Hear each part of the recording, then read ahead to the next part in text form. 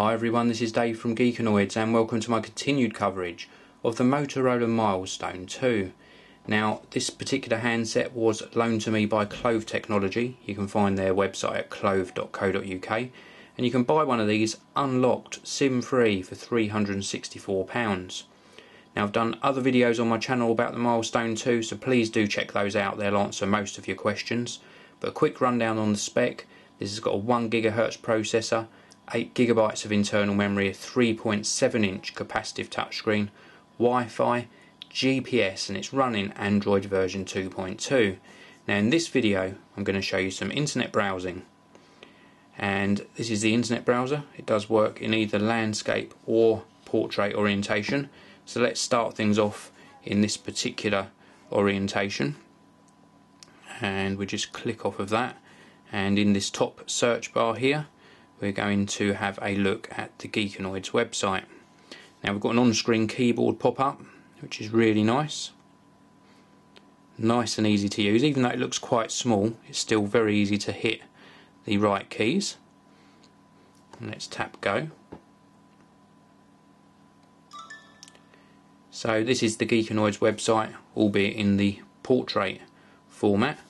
We can obviously scroll up and down we can pinch to zoom so we can zoom in and out. Very nice uh, sort of fluid scrolling to this.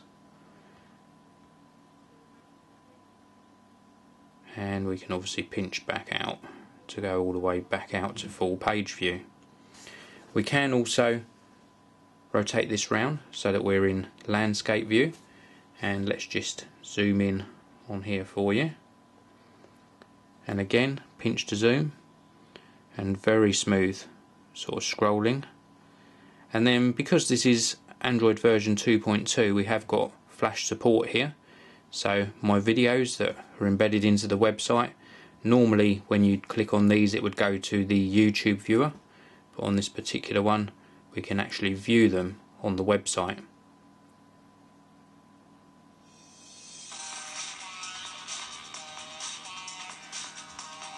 Now this is really nice, so I don't have to leave the browser to actually view these videos.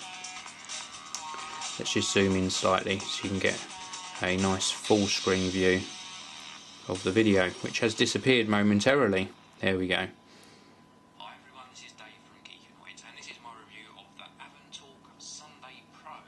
You get the idea. So let's go all the way back up to the top and let's have a look at another website let's have a look at the Apple website.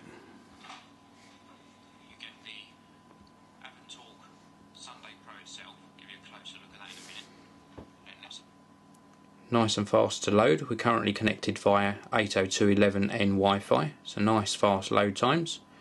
This is the Apple website, which is a, another good test for the phone. Again, you can pinch to zoom in nice smooth scrolling around the website as well. It's going to the store, just to show you the store in the UK. Very responsive touchscreen, as I say it's a capacitive touchscreen and again we can scroll around nice and smoothly. It does a really nice job of uh, rendering graphics. We can double tap to zoom out, we can double tap to zoom in so fully supported multi-touch and a real pleasure to use for internet browsing.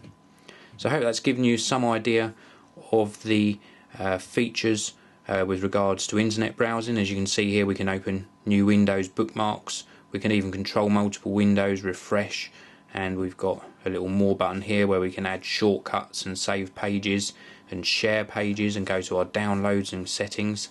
So plenty of things that we can do with the, the built-in internet browser. It's a real pleasure to use.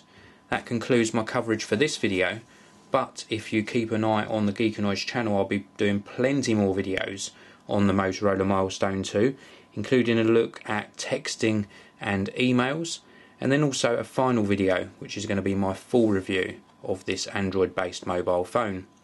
Well thanks very much for watching. Please do subscribe to the Geekanoids channel if you like my content And if you want to get my regular updates, please follow me on Twitter by following at Geekanoids. This video review is sponsored by Crucial, the memory experts. They provide reliable PC, notebook, and Mac memory to boost your system performance and improve your general workflow.